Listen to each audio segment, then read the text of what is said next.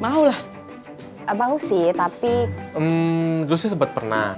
Eh, mau sih, saya pernah kepikiran sih mas pengen jadi guru. Itu pengennya sih guru TK karena menurut saya guru TK itu lucu aja sih ngajarin anak-anak. Terus kan masih kayak fondasi awal, jadi kita menggantikan apa yang tidak dapatin anak-anak di rumah. Eh, mau karena jadi guru itu banyak pahalanya dan ilmunya itu banyak untuk semua orang. gue suka ngajarin orang sih apa yang gue punya apa yang gue punya apa yang ilmu yang gue tahu gue seneng banget buat sharing ke orang lain gitu. Dulu dulu pernah kepikiran jadi guru.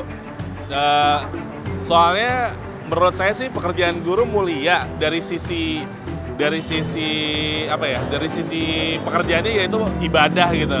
Membantu orang, membuat orang pintar sangat mulia. Dulu sih pernah kepikiran untuk jadi guru.